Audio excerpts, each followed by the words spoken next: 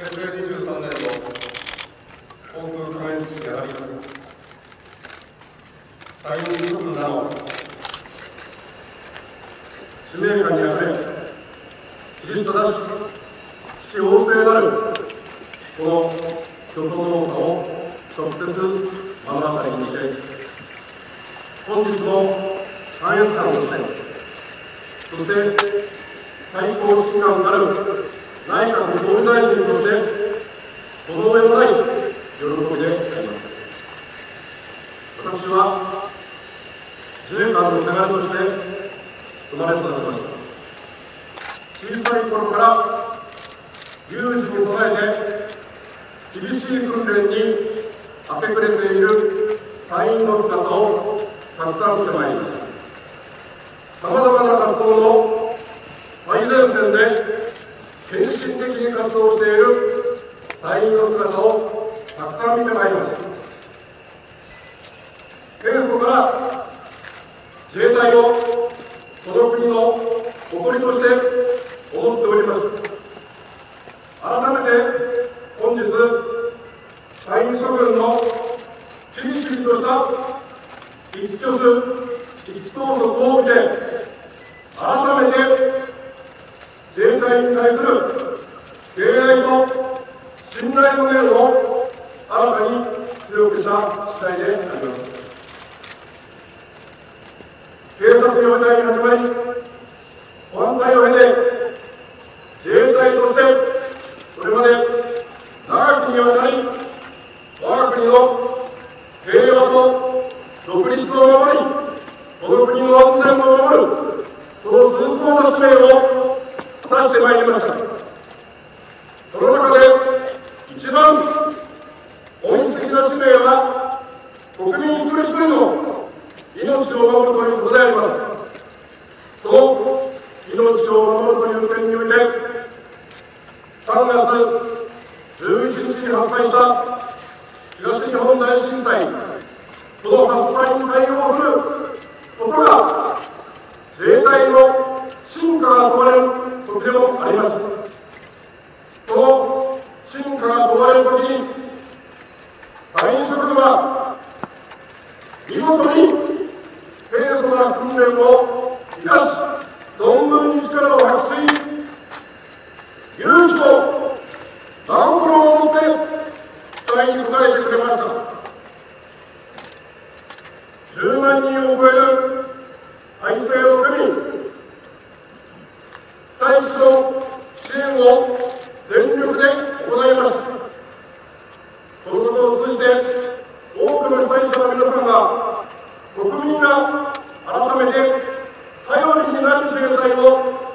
実感することができたと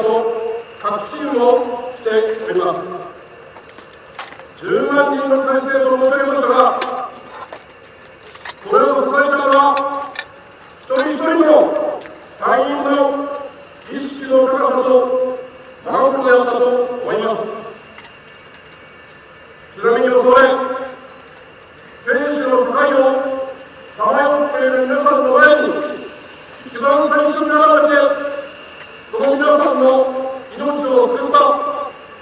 1万9000人以上の尊い命を救うことができましたそれを成し遂げたのは諸君であります厳しい寒さの中加えて余震があるかもしれないという恐れの中震えながら救援を待っている皆さんの前に一番最初に現れたのは諸君です食事水を運び毛布を運びそして入浴支援までございました行き届いた温かい支援を成し遂げたのは諸君であります原発の事故に対しては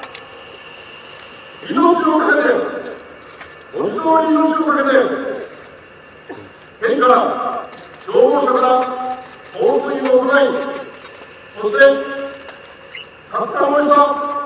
放射能の除染活動の先頭に立ち避難者の支援誘導を行い最前線に立ったのは諸君でありました私はあるエピソードを忘れることができません6歳の男の子が行方不明となりその母親が隊員に何としても息子を探してほしいと頼みました津波に流された帰宅の下を徹底して探してほしいという要請がありましたその要請に隊員は懸命に応えようとしました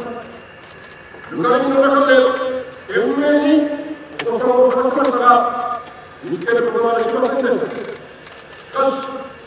この6歳の男の子が一番大事にしていたウルトラマンの人形を。見つけました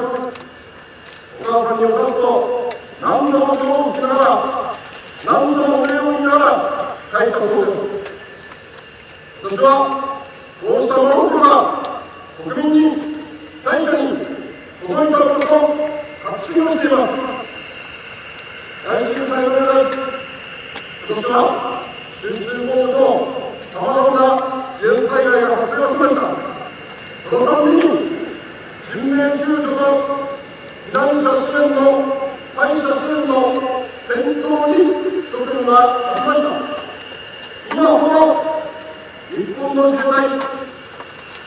国民の期待と信頼が高まった時はありません改めまして最前線に立って汗をかいていただいた諸君裏方となって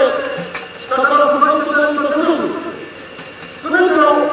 私はこの国を誇りますこの難情から気持ちいたしますが改めてありがとうと申し上げたい我々が備えなければならないのは自然災害だけではありません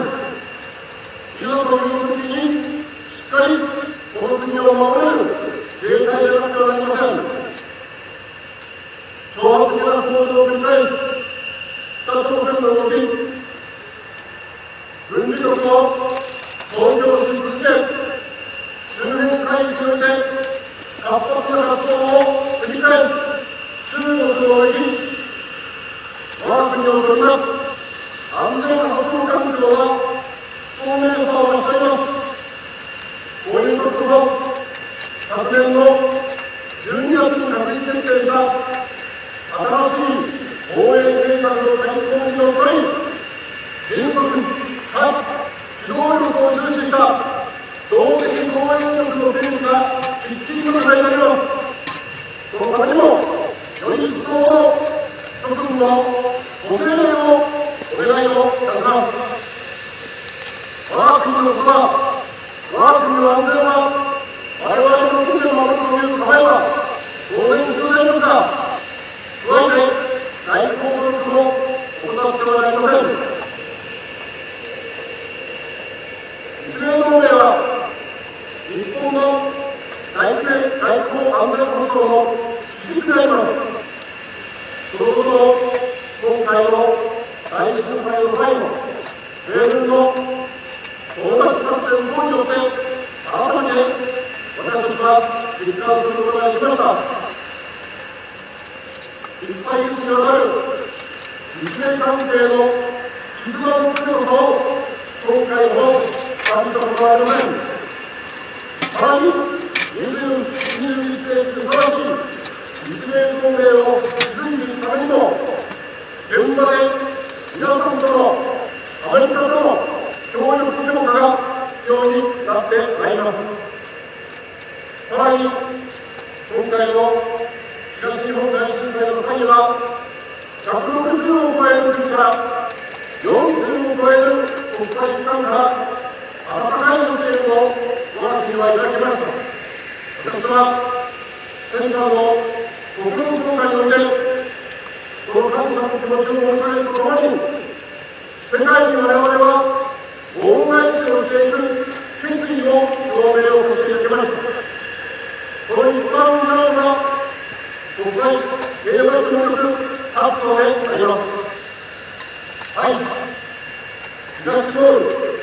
ご覧公園ソマリア沖アデル実績を残してまいりました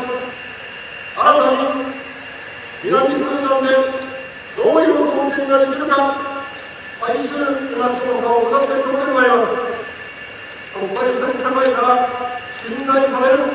尊敬される国となるためにもこうした活動にも一層取り組んでいかなければなりません。最後に中国の保険に芝法というのがあります。戦火、大がかかるといえども、戦いを忘れながら、必ず危うしということがあります。平時においても、平和時においても、